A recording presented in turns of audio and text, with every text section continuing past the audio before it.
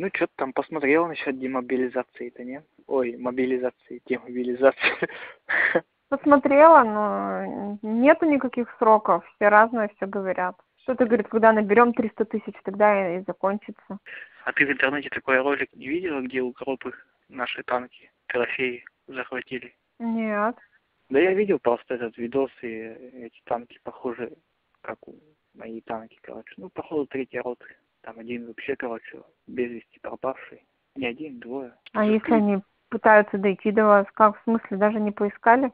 Конечно, нет. Я тебе говорю, тут у нас начальство такое, вот у меня друг, его за трехсотого, он уехал, он живой, а его там уже начальник штаба уже все говорит, он трехсотый. Ладно, хоть еще документы не успел сделать, не отправил в сторону дома.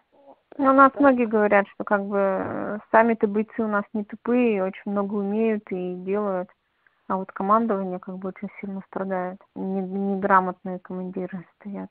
Вот в третьей роте вот командир роты сказал выехать, танки пустые, не было керосина. Они выехали, их начали бомбить. Командир роты сказал, нет, стоим до талого. Вот он что, глаз у него вытекли, что у самого командира роты, а полроты просто погибло.